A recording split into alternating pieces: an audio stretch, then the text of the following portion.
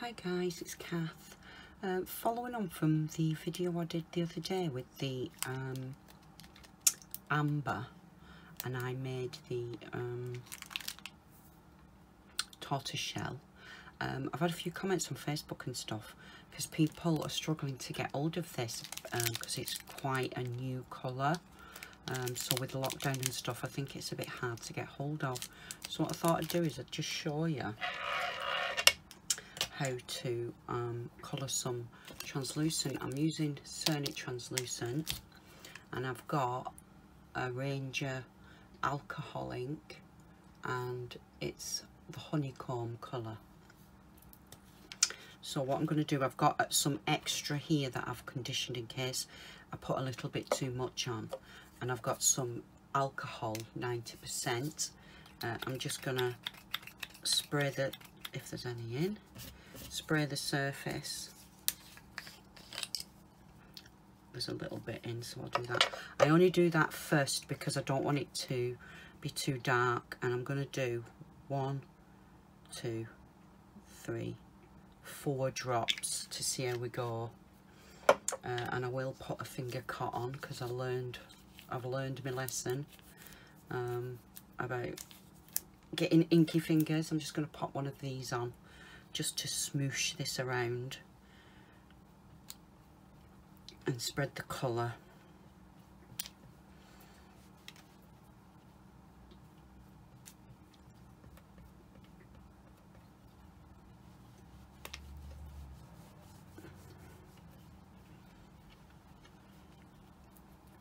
I'm just keep I'm just moving it around with my finger getting it to dry because uh, obviously the alcohol um, comes off um, evaporates off should I say. You don't want to be putting anything soggy through your um, through your machine. I'll just pop that in the bin and it doesn't disrupt anything else. Um, and we just need to let this um, dry off a bit. So that was four drops um, on a probably a piece out of this block about this big. Um, just a small portion enough to make something with. Um, so I'm just going to let this air off and I'll pass it through my pasta machine uh, and get come back to you once I've got it all mixed in.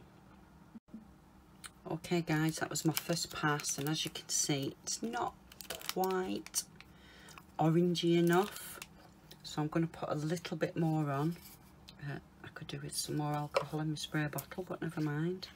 And I think this time I'm just going to do one, two, three drops. And then um, just give it a smush about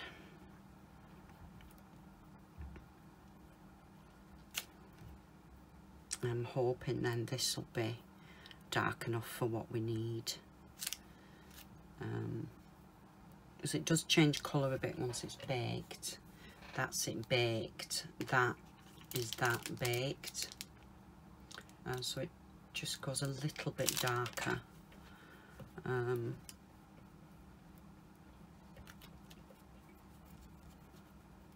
I let that dry off a bit again and I'll um, pop back in a second once I've condition uh, put it through and mixed it in. Hi guys, I'm back now. There it is. And again, it's not as dark, so I'm going to do three drops again. Uh, I have no alcohol in my bottle, so I'll just have to uh, pretend that there's some on, but I don't like doing that because can you see it leaves a dot where you drop it? If you put a little bit of alcohol on first, it doesn't do that. Um, not that it would matter with this, but if you're ever painting onto clay with it, just bear that in mind, that that's what it does sometimes. I don't really want to add much more than this. Um, simply because it starts to dry the clay out, uh, the alcohol. And this Cernit Translucent is quite gummy. because um, it's quite a new batch I've got. Um, so I'll just mop those bits that I dropped on my table up. Waste not, want not. Uh, right, I'll pass this back through for the final time.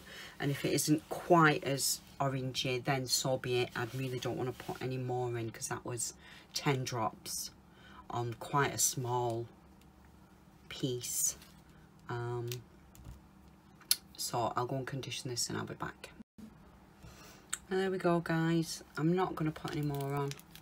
Uh, it, it, still isn't quite as orange yet. I could have maybe, um, maybe um, put a bit of a different orange in or a different yellow in. But I know that I've used that ink before when I've made resin amber. Um, so I quite like that colour. Uh, so yeah, I'm going to um, cut a little piece off and pop it in the oven just to check the colour when it's baked. Um, uh, so I'll pop back in a second and just show you. Minute. Right guys, so I'm back. As you can see, look at all that plaquing. So anything with translucent clay, um, you've really got to be careful. That was just cut straight from the block and look no plaquing. But it's reasonably translucent um, let me find something to hold it up against. Can you see the black through there? Yeah. Uh, it's obviously thicker so it does make a difference but I quite like the colour. I think the tone's pretty good. So that being said I think that that with 10 drops came out as a really lovely colour. Because now the only thing I'm miffed about is all that plaquing which there's nothing much you can do about it. And you can you know you can stretch the clay and then put it through your pasta machine while you're conditioning and stretch. But it's the look of the drawer I think sometimes. I just end up with loads of plaquing in it anyway. So I'm happy with the colour. Um, I've mixed some brown up. Not mixed um, just reconditioned. Oh it's stuck to my table.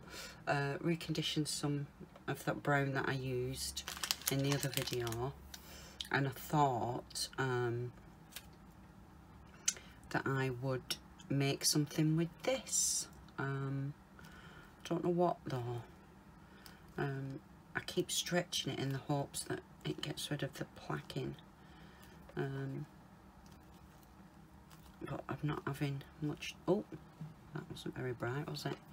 Uh, so yeah I think I'm just going to make a quick bangle um, using the same technique as I used with the other one putting the splodges on. Uh, I'm not going to bore you with that again uh, I'll film it but I'll put it on speedy. Excuse me I'll put it on speedy. Um, and then just show you the, the finished article at the end um, so you can see for yourselves.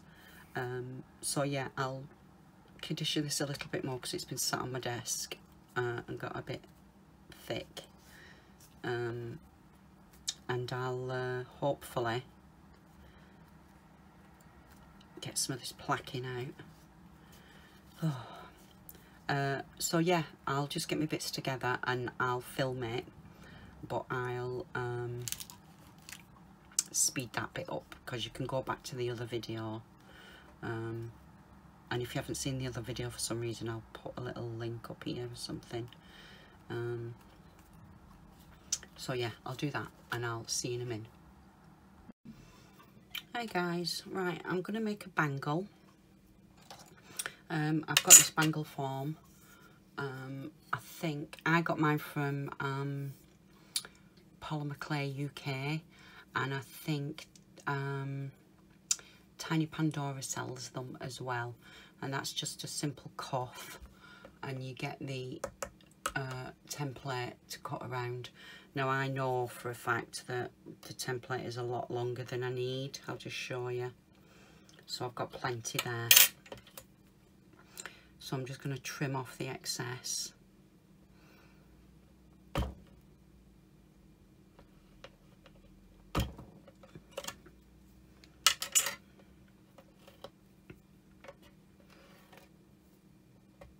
Like so.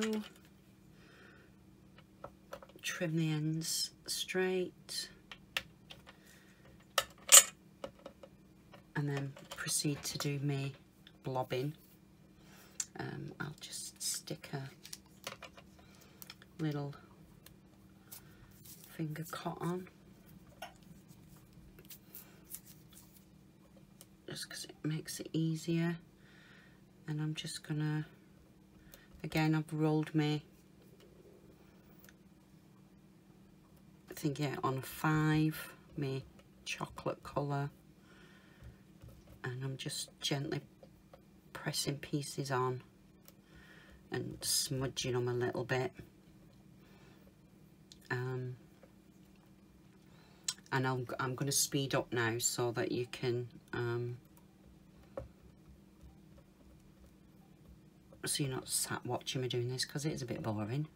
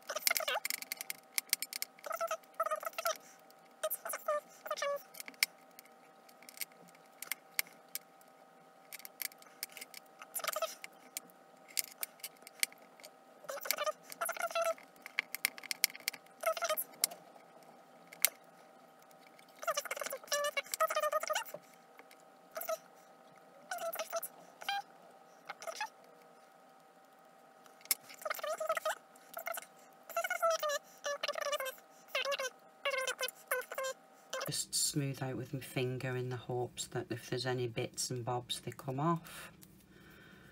Um, and then I'm just going to pop this in the oven and we'll have a look at it when it's done. Hi guys. It's cooked. It's out the oven. Um, I'm really quite pleased with how it's turned out. Colour wise uh, it obviously needs um, shining and stuff. And to be fair, it is a bit flexible. But I did do it quite thin. Um, I could, I suppose, just put a, a translucent backing on just to thicken it up. I might do that, but I'm not. It was just so, to try and, you know, emulate the amber one. So if we put it next to the necklace, there's the necklace I made, obviously um, it's been um, varnished. Um, but colour wise, I think they're pretty much the same. Uh, if anything, I'd have maybe added um, a little less alcohol or chucked a bit more translucent in with it. Um, if you hold it up to the light, it is quite translucent. Uh, it does look quite nice actually for what it is. Um, there's a hell of a lot of plaquing. Um, yeah, maybe it's just that batch of Cernit because um, it was quite squishy. I don't know, answers on a postcard if you've got any um, other than my stretchy thing that I do. Uh, if you've got any answers for plaquing. Um, but yeah, I think it turned out okay. Because I'm not going to varnish it or anything. Uh, I may, like I said, put a, a backing on it of translucent. Um, just to strengthen it up a bit because it is a little bit too thin. Uh, but it was, like I said, just a practice for the colour, which I think looks okay. So, yeah, there you go, guys. You could um, make the amber one yourself with just some translucent clay.